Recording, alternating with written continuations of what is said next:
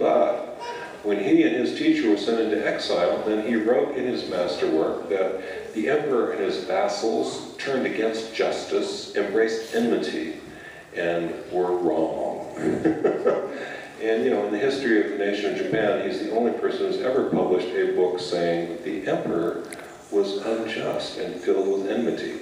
But he, he felt that he had to speak out sometimes.